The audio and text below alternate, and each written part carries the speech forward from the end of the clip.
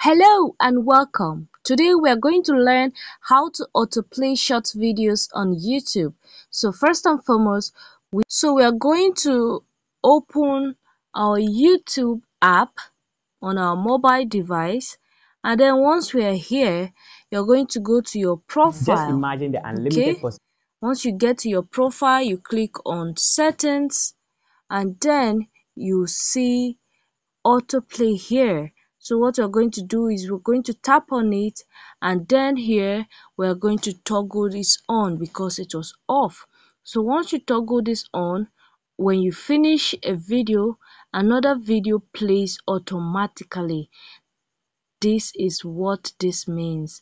Okay so it is good for mobile phone and also for tablets.